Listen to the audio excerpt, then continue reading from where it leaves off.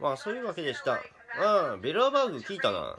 あ多分コロナで中止になったやのコロナで中止になっただけやん。うん。権威は守ってる。聞いたみたいやなどうやら。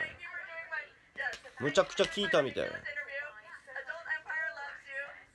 それした。もう俺は日本の時間帯に従う必要もなかったちょっとねアメリカの時間帯やと東部時間帯でもう。14時間時差があるからちょっと無理ねだね。結局ロシアでした。うん。いい時間やのにね。ああいうことでした。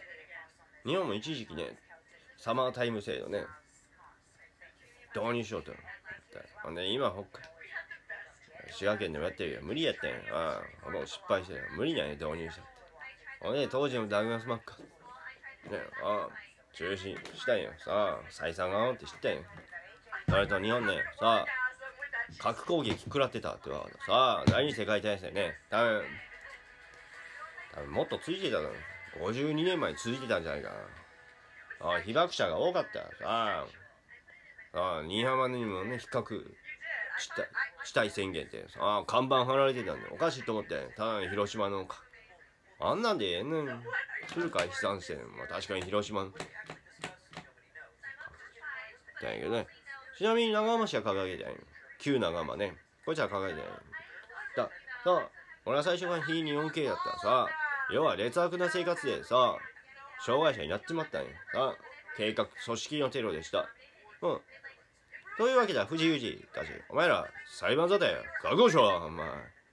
あるぞんけ ICC ICJ 提出だお前らがやったんかこれ。水は船お前らいい加減しろボケいいせかボケ本当にしろ本当に。詐欺一族か。脅しても無理。藤井氏行くぞ本当に。結果売っとんだよ俺。トライメトヌンキュ川島お前喧嘩売っとるか俺。お前ら世界統治者か。昨日にも体現せボケ。お前ら知った上でこうやって不正通報してたんがアホか。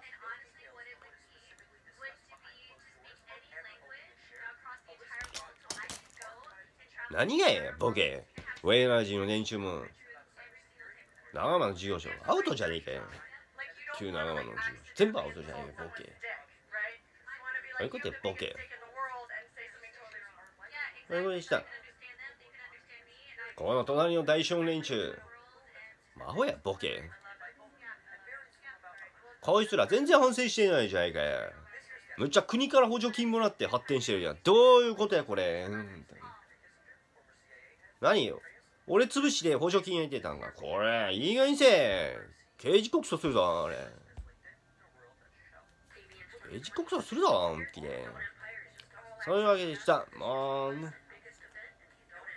結論変わらん。もう戦争しよう。こういう運動して正解やった。覚えとけ。以上。